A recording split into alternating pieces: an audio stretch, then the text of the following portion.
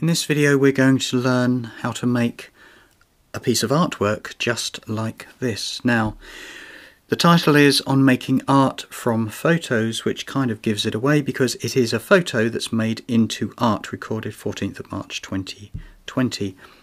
So this is the original photograph from the canal and you can see that in this one photo it's got some dark areas down here and down here the method that we're actually using here, for me, is a stepped method, which is taking three photos with open camera, one normal, one overexposed, one stop below exposure, and then we are mixing those with Vibrance HDR, and then after that the step is making an HDR picture using Snapseed, and then the last step is to make a arty picture using Photo Director. So you may be thinking, what happens if we skip the two stages? Is there a difference? In other words, to go from, say, a normal single photo all the way up to the Photo Director. If you do that, you do actually get an image that looks a bit arty, but you can see there are some very dark areas and um, well, to be perfectly honest, it does not compare to this image with all of the steps. So that's question answered. You can clearly see that the image on the left here is the single camera and the image on the right with the extra steps that I've used. In the Photo Director app we have six effect styles and what you see on screen is 30% strength, not the full AI arty effect. There's a real nice game that you can play here and that is to start having a look at the set sort of areas around here that I'm highlighting and you can see with trees or the life raft ring things everything is different. Start to have a look at the clouds here and you'll see they're all different. I particularly um, can see a big difference between the trees here. Anyway, we can then go over and do a quick app demo and other images in the same style from that time.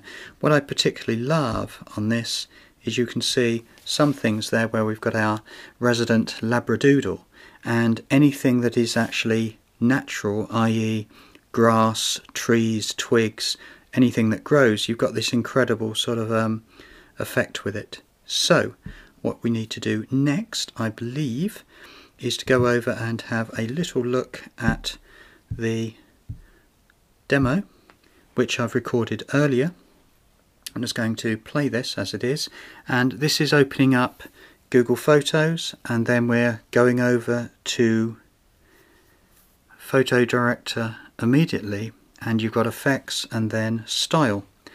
From there you've got six and again I recorded this earlier so when you see the little whirly wheel down there it does take and I will say this about um, 10 or 11 seconds on my phone or tablet to actually process. When it does process, it says me talking over it in the normal way, you get this which is a 100% effect on style 1. We can dial this down with the slidey bar, that's about what 50% of the effect. Again this is an artistic effect so therefore everyone has a different taste or a different feeling, a different emotion depending on what they're, they're doing with it. I particularly, personally, over the hundreds I've done recently, use about 30 because I think 30 shows that there is an artistic effect but also shows quite a detail with the original photo. At 100% there is a lot of big, um, we say, AI brushstrokes knocking around the place. And it carries on like that. I think um, I'm going to stop that video and go back and then start to look at the similar examples that we've got here. So these are all photos, remember, in the album that I took. This was very strong winds at 30 odd miles an hour. It was in March, of course, a couple of days ago. And we've got images like this. This was, wasn't in that place. It was slightly um, down the canal towpath a little bit.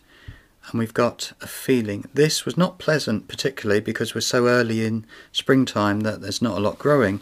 But this does actually look, I would say, pretty okay with this, this bridge. In fact, you can actually see with this image, a lot of the original photograph showing through but when you actually get down to some of the grass areas AI has taken over. I would love to say that I've got time or even the skill definitely to do art myself but I actually haven't. Here's another one and another one. What you get here, in my opinion, this is style 4, is anything in the sky, in other words, the clouds, pretty much stay as they are, but anything that looks like a tree or a piece of growing grass takes over to become quite different. This one's quite an interesting one. We've got the, I believe they are the, um, the shepherd's hut in there.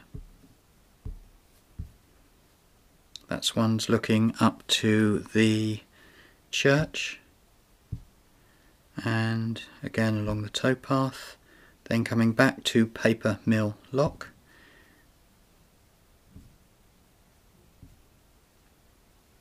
it's quite an interesting way that these actually work in real life these would print up to uh, 25 inches on the wall There's the one that we showed earlier here's another one it's the lock keeper's cottage, I believe, or something similar to that, I'll call it that.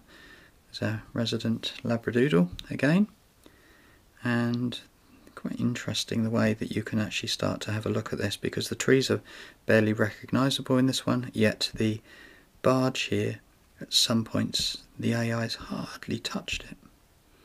Here's another one.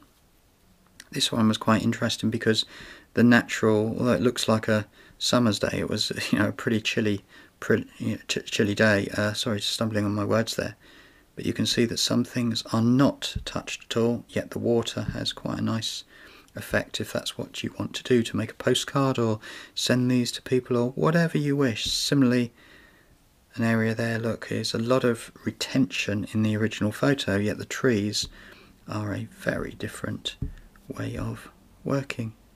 Now that is the video there, so therefore I need to come back and have a simple look at the where I was earlier and to go on and say for the method and the resources in making this we can refer top right to our original slide and say number one is what I did I used open camera app on Android I took three photos setting the camera to exposure setting. In other words, it takes a middle picture, an overexposed one stop for me, and a underexposed one stop. You merge these on section number two using Vibrance HDR app on Android again, of course.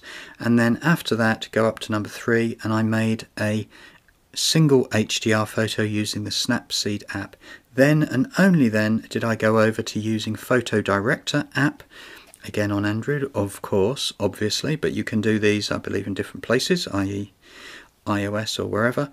And it was effects, style, and then there were up to six different filters. You can do this whole Photo Director on desktop, but I tried that and there was tons and tons of choice, and the app was best for me. So that was on making art from photos in this one, two, three, four step situation. Good luck. This was youtube.com forward slash Mike Downes.